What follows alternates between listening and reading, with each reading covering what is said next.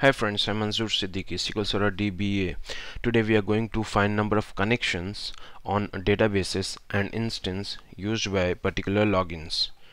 Okay, so uh, we have a query which is uh, very useful for DBAs and database users to find total number of connections used by particular login on database instance for all databases or on a particular database so here I'm uh, using object sys.sysprocesses which will uh, provide us this detail.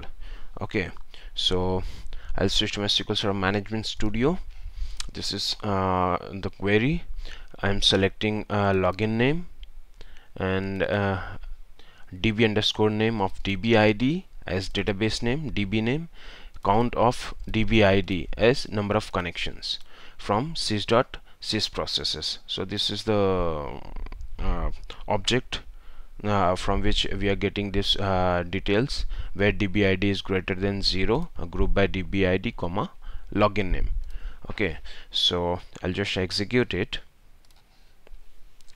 here uh, you can see login name db name number of connection these columns.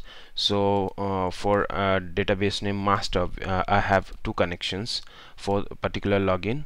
And for a database inventory I have one connection okay for this login.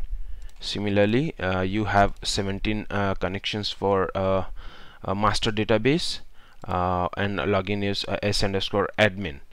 So for example uh, I'll give you one more example. Suppose uh, I have these databases and if you are suppose for example if you are connected on uh, network and uh, if uh, any database user is opening a new window okay new query window uh, which means he is making a connection okay so I'll just open a new window okay client info new query okay and I'll open college new query okay so this query window is open and I'll take inventory also.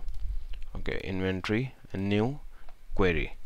So I have opened two three uh, three connections here. Okay I'll go to my query and execute it. Okay now you can see I have a client info one connection inventory two connection and college one connection. Okay so uh, like that you can uh, find number of connection for a particular database and uh, which logins are uh, making those connections. Okay and if, if, suppose for example if you want to uh, find for particular database only okay you don't want uh, whole connections in a instance you want for database particular database connection. So what you can do you just uncomment it. Okay where dbid greater than 0 and db underscore name of dbid equals to your database name. So I'll just check it. Master database here. Okay. And execute. So we have uh, s underscore admin login 21 connection.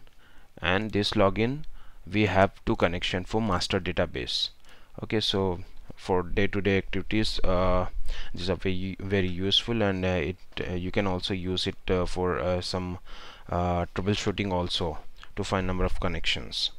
Okay so I have written this article on my website sqlserverlog.com okay you can visit here and you can go through this article and if you have any query you can uh, send to me. Thank you